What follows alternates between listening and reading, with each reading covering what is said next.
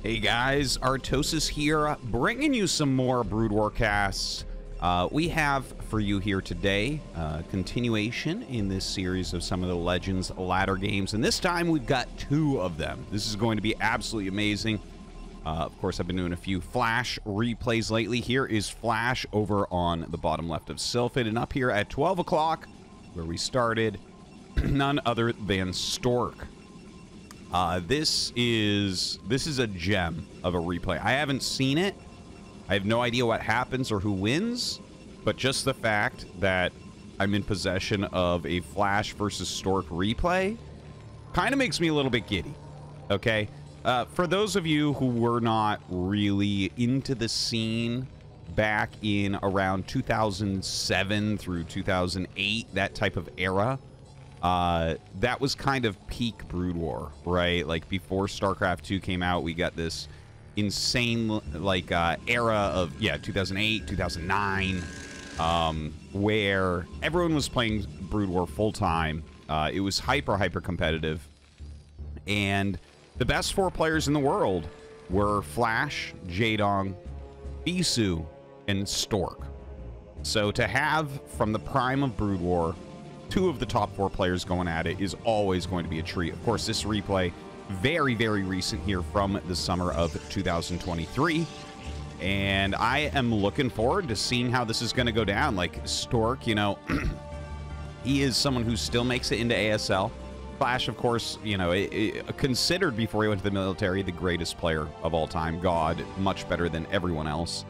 Uh, but of course, we're kind of looking at these replays to see what type of shape he's in. He has not returned officially to professional play. He hasn't been streaming but luckily we do have a few of his games to look at. Uh, so anyways, it does look like Flash is going to be going here uh, for a gasless expansion. And Stork, is he going to make a Zealot? It looks like the answer to that is no. So that's going to be very solid for Flash. You know, if you're making uh, a Zealot that can screw up this type of build order quite a bit, it looks like this is actually poorly... Well, unless he makes a second depot there, then it's well placed. Uh, but you can put it next to the command center and make a little micro hole for those Marines. But it looks like he wants the depot here, uh, and Marines can go through there. And this is Zealot type right there, right? So the Marines can be on this side and harass, and of course you'll end up putting a bunker probably right there. Of course, you need your gas first, and that's what he's going to go ahead and do. Stork, in the meantime, has not yet scouted Flash.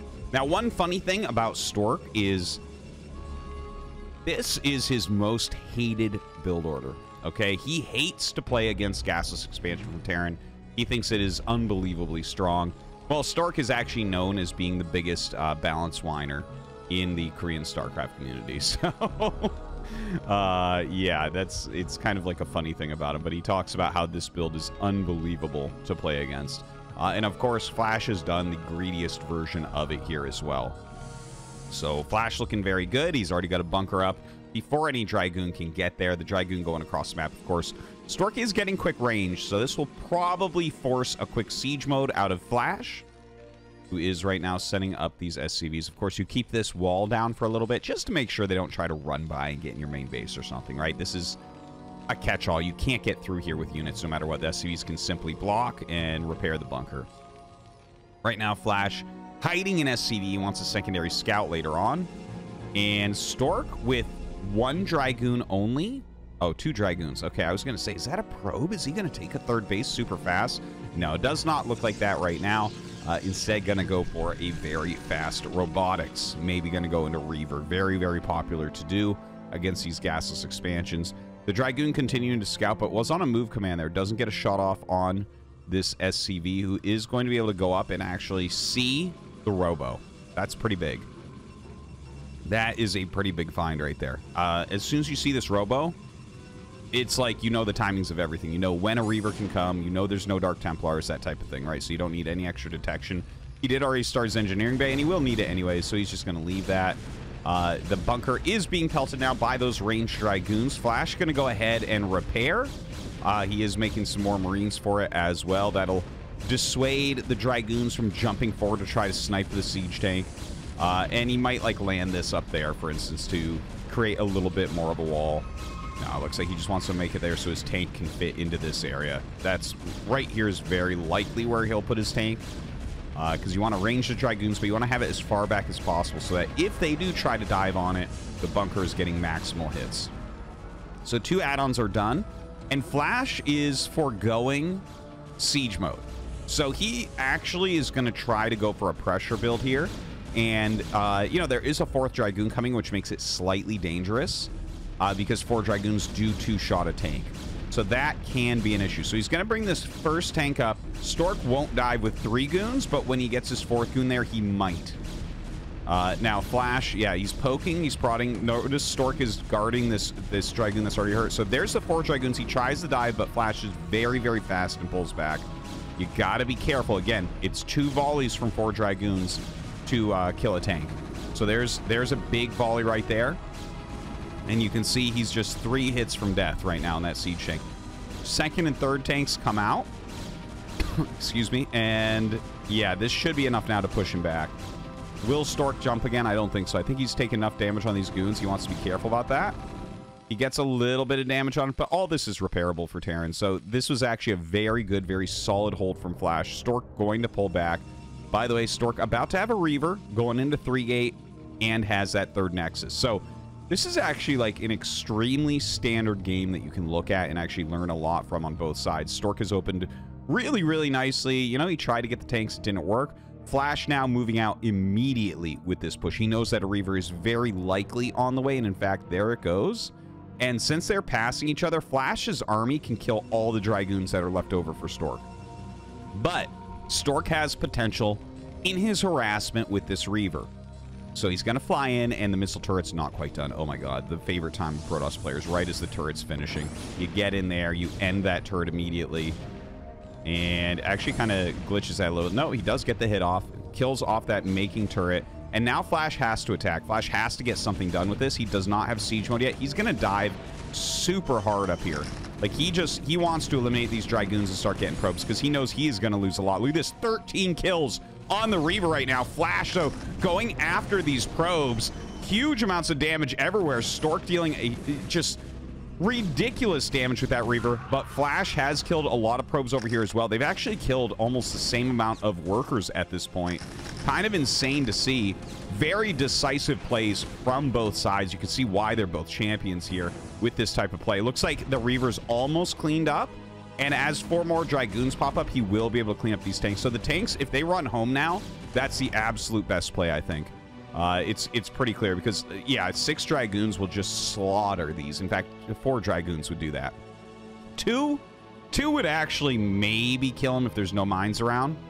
Uh, but yeah, now we're in this funny position where Stork does have three Nexuses, uh, right? So he is going to be able to re uh, reproduce his probes very quickly. Flash doesn't have great anti-air. He's making a couple Goliaths, and his tanks are coming home. So this very red Reaver, I don't know that Stork can do more. Like, he's looking for more right now, but it will die to one shot until its shields are back up. and as the Goliaths come up, I think he's just got to turn around, and he's got to run out of here. Two Speed Vultures going out on the map, seeing if they can get some damage. I mean, this is a little bit open, but has three Dragoons, three Dragoons here as well. It really looks like Stork is sewn up pretty tight. I don't think you're going to really get much more here. Yeah, Flash runs out. Maybe he could have sniped one probe there on his way out, but, you know, that's fine. Uh, has to jump back and do his macro cycles as well. So, okay, who's who's ahead? Who's ahead here? It's, yeah, I would say Stork for sure, right? Like, again, he's got the three Nexus against two Command Center. He's got the more mobile harassment uh, with the Reavers, right? So he's getting shuttle speed right now, which is going to do a lot for him. He is getting a forge to get some upgrades and maybe some defensive cannons going. And he's got four gateways. So he's basically producing non-stop three uh, Nexus probes and five production facilities. Meanwhile, Flash is on just two and two command centers. So it's going to take him a lot longer uh, to... You can see, right? Like, they were very even in workers, and now Stork is up seven. You know, a couple minutes later. That's just... That's the difference of having that extra production facility. So Stork's going to hit the number he wants very quickly. And as far as Flash goes, like in these positions, if I zoom way out and show you, right? Your third base has to be here or here. In these positions, because Protoss is so close, you want to take it here. And this is reduced resources. So he is going to expand here. You can see him already getting into position for that. But because it's reduced resources, it just pushes the game longer and longer. Because once you take this base, you're going to have to take that base. There's not much there's not much of a choice there because unless you have like a timing that comes immediately, you know, eh, you're going to run out of resources here quickly. So you need to take an additional base. So here we are at 10 minutes and 30 seconds. Flash with only three factories. It's been a crazy game. So like we can't just take normal benchmarks and judge too harshly of them. But certainly you see that Stork right now up 30 supply, 10 of which is in workers and up that mining base. Uh, must be feeling good. He is poking and prodding the sides. He can't get in here, but he does have double speed shuttle, so there is some big potential for damage in that main base. Stork going to go ahead, fly in here, drop off his Zealots. Good leading with that shuttle, and the double Reaver comes out. Look, 16 kills on that thing already. Going to kill a lot more. Uh-oh, the siege tanks going to end up going down there. One of them gets picked off immediately. He did take some pretty big damage on both of the Reavers, so they're low. They're very low right now the vultures can actually end up helping to kill these. So Flash gets it. He gets he gets both the Reavers. The shuttle is going to get out very, very low. But right now, Stork is up 13 workers. We're still on three factories for Flash. Like, honestly, Flash has to turtle so hard here. Stork has already gone up to six gateways. Temp look at that. Templar Archives, he's going to get into Psy Storm. And, like, there's no attack potential here for Flash this is a tough, rough game. You know, I, this is funny that uh, I, I'm trying to cast some of these Flash games. A lot of people have been asking about them. But I mean, I haven't I haven't watched these. I'm not choosing any games that, that I've already previously seen. Uh, and here he is, and it looks like Stork is going to be able to kill him. Like, Stork is is really far ahead right now. Look at this. He's taking that additional base for his fourth. Uh, honestly, he can take a fifth base right now as well and be, like, completely clean on it. I'm a little bit surprised he's not. I think he might not be reading this situation properly. But just with the size of his army against three factories, you just can't really... You can't really attack, right? Uh, normally at 12 minutes, you're already going to have seven factories done and pumping for quite a while. So that's that's a bit of an issue. And Stork right now up like 40 supply. What can go wrong for this guy? Well, it is Flash. That's what can go wrong. Yes, good answer. Uh, Flash, you know, being the greatest ever, uh, he knows in every situation like what he needs to do, what what the what the situations are, what the things can occur that can allow him to win the game. I'm surprised he doesn't actually unsiege there. He might not realize, like, if there's an army right here ready to go and you unsiege, sometimes that can really cost you. So sometimes it is better to just lose a tank and push the shuttle away. Uh, but yeah, he's going to stay sieged stay turtled up right now. He is going into more factories. And this is tough because we're going to start seeing these minerals get lower and lower and lower. And it's like, okay, well, you're going to be forced to expand into other bases. Now, one thing to say about this map, about Neo Sylphid, is uh, we can get into these games where basically, here, I'm going to zoom out once again. Right, it's a three-player map. If Terran can hold this area, right, this this specific area, they get themselves five bases, right? One, two, three, four, five. And they deny this base. So that leaves Protoss with these three, four, five, six, seven, eight, nine possible bases. But you can deny this one quickly. Sometimes you can deny this one. And if you're holding this area, all you have to do is push into this area, right? So if I zoom out again, if you're holding this area, if you can push as far as this, this is most wide open area, you choke off the map. And sometimes Terran can start to dominate this map in the late game if they can do that. So that might be the comeback that we're looking for from Flash. Now, Flash has the SCV count he wants. It's 64 to 78 probes. Stork is super high in his economy. Flies in now with another couple speed shuttles. He is going to get one High Templar out there and throws a storm down mostly on vultures. The SCVs ran super, super fast. And yeah, there's not there's not a Templar in here that's a Zealot, so not very impactful. Uh, that, that set of drops not really working, but Stork is instantly remaxed. Flash now at 140. 140 is the number where if you're set up correctly, you can hold on against maxed out Protoss attacks, especially when they're this high in probes. So I feel like Flash has gotten himself out of the woods there. You know, I was nervous for him for a little bit, but he stayed turtled. The, again, the problem is these mineral patches are getting low, right? In fact, these two bases are slated to run out at about the same time. That That's that's the problem, right? Third is supposed to outlast the natural, but it generally doesn't happen on this map if you take this base. So what does Flash do? Does Flash push in this direction to take these bases? Does he push in this direction to deny bases and maybe try to expand behind it? I don't think so. That's like so hard to hold, but we'll see. Now some vultures trying to run by, trying to make something happen. Stork right now with a giant wall here, tons of cannons going down. He's trying to reach, he's trying to take this bottom right main, a very important base. If Protoss doesn't take this base, they will not win on this map. Like they absolutely need the other main. Also, he's taking this base really, really quickly. I don't mind it. I like the saturation. He has pretty heavy saturation there as well because this is a base that in the late game, Terran can shut down pretty easily. If they take that middle area, they can siege up and, and get rid of it, right? So I like that he's trying to get the minerals out of there right now. Now, Stork with a huge army running around. Four High Templars in there, two in there. So six High Templars plus his big Gateway army, plus two attack on there. 2-1 here for Flash as far as upgrades go. And here comes that fourth command center. He's moving up here to just remove anything in his way. Look at this very defensive positioning he's taking. Now, here's the thing. This defensive spot, it's like, okay, this is pretty strong. But if Stork takes his entire army and shoves it into here, he will knock this out, right? So Flash is split into two pieces. This defense and this defense. Now he's bringing more up here as he sees those Dragoons approach. He's Storky's going to want to run back. I'm surprised he's running around with a full group. It's actually, I, I heard this once, that you're supposed to actually walk around with, like, I believe it's 10 Dragoons, or it might be 9. When you get 12, they bump into each other too much. There are things like this that exist in Brood War where it's like, yeah, you don't want the full group. It's much more mobile with a smaller group. That's actually the same thing with Vultures. If you want to lay mines quickly, 12 Vultures isn't good. Something like 6 to 8 can lay their mines without bumping into each other, whereas you have 12, they just all glitch out on each other very oftentimes for both sides. Of course, there are exceptions. Now, here he goes. He is going to shove his whole army into here. This is such a great setup. Look at this. Sets up a defense matrix in the front as well. Here comes some High Templars going to be dropped out. Oh, doesn't quite get the storm there. The mine gets him in time. Another storm drop goes out. Drops some on top of these siege tanks.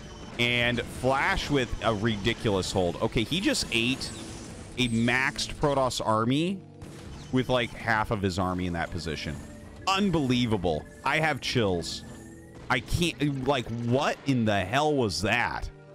Stork didn't get many storms off. He got one to two storms off when he had six High Templars. So he was looking for 12 storms. He got like two. Now Flash instantly attacking across the map, really knowing his, his potential to win here.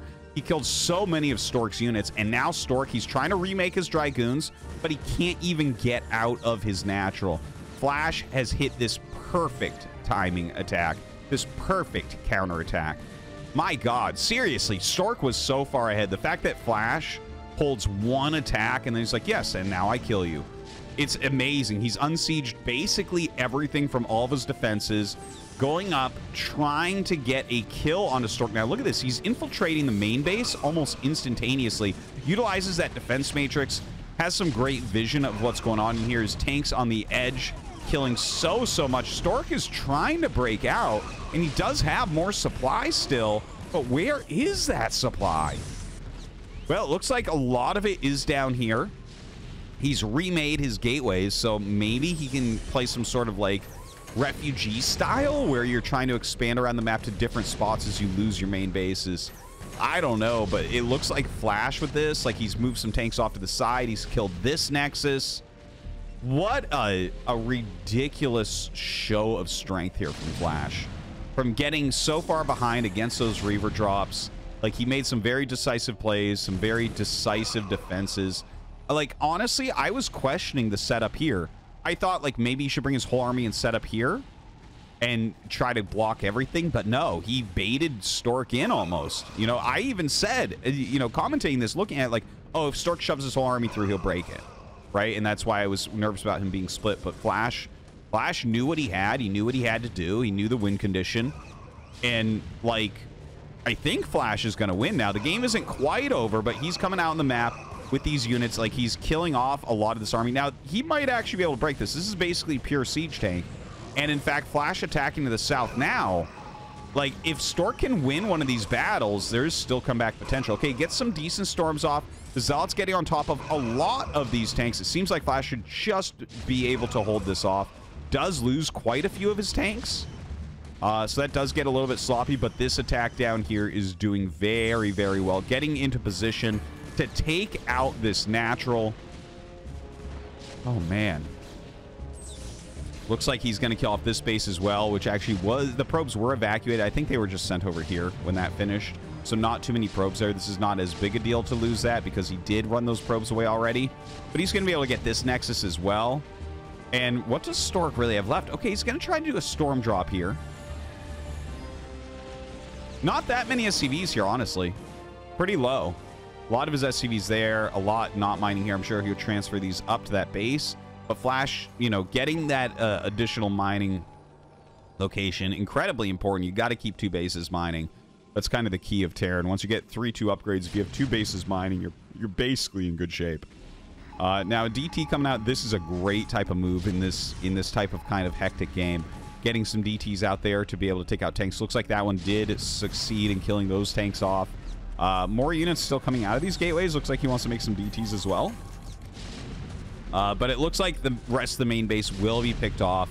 Probably the only really important tech structure here is uh, the Templar Archives. Of course, he doesn't have a robo down here either, so that's a bit of an issue. Stork still has a decent economy, but his supply is getting very, very low at this point. And it does feel like Flash is going to have enough to just kind of grind through everything. Yeah, the Vulture's coming out. These small supply amounts, like everything that he's making right now is super, super weak uh, to uh, two vultures, and that's because the cybernetics core died and he hasn't remade it. He is remaking it now to get some more dragoons, but like Zealot, Archon, High Templar, all of it dies to vultures. Without the dragoons there to kind of fend off vultures, vultures just completely insane, right? Like he can kill everything with those. Now, uh, yeah, Flash has a ton of units moving to the south. Again, really kind of an unbelievable game here. Stork had such a nice position. I'm sure he thought he was going to be able to win. I certainly did. But Flash, never count this guy out. Flash truly would have won. He's, uh, this guy, you can see why he is the greatest ever. Uh, but yeah, he's pushing in. This is going to be the final push. This is really all that Stork has left. Yeah, he has this base, but there's no production. It's too small. And this is like Stork's final tries. He's trying to get together an army where maybe he can Psystorm this a bit, weaken it up, get the, the speed lots out there, and, and deal some damage to these tanks. Uh, but yeah, this should be it. This should be the final moments. Because there really is nothing left. Archon drop on the tank. A few more Zealots coming out, but this army will easily delete those Zealots also. Yeah, he has a little bit more harassment on the map, but it's, again, just those speed Zealots. And, well, we got some some real fantasy GG timing going on right now. This is uh, Stork refusing to give up. Look at this. He makes a gateway while the tanks are attacking. Oh, man. More Zealots come out. He's going to bomb as well. Okay, literally his supply is falling down to, like, his probe count and what's being made in gateways at the moment. So I think that's truly, at this point, got to be it. GG! Flash takes down Stork.